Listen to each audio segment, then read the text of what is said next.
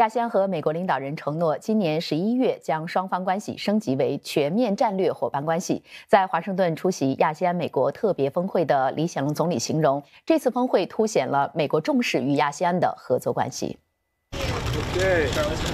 李显龙总理在一连两天的亚细安美国特别峰会结束后，向新加坡媒体表示，这是一场有意义的峰会。他说，美国在国际环境不稳定的情况下，包括俄乌战争、中美关系紧张等，仍主办这场特别峰会，促进双边合作，并持续关注和提升美国与亚细安的关系。这个队伍。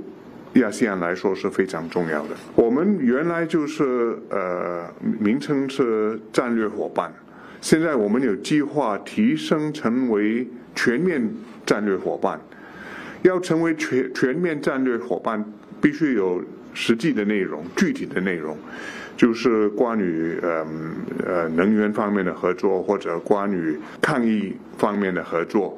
总理说，美国和亚细安接下来几个月将具体讨论有关内容，希望今年十一月在柬埔寨举行的亚细安峰会上能落实与美国的全面战略伙伴关系。美国和亚细安也在这场特别峰会上探讨深化双边合作关系。包括美国总统拜登去年提出的印太经济框架，总理说，最理想的情况是美国重新加入跨太平洋合作伙伴协定，但美国的政治局势不允许他们这么做。以印太经济框架作为替代方案是个新的开始。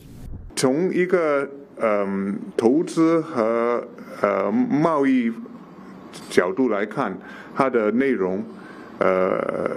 比较少一些，但是从其他方面来看。这个是有它的价值的，并且这个是一个新的开始。希望以后从这个 IPF 我们可以延伸上延伸下去，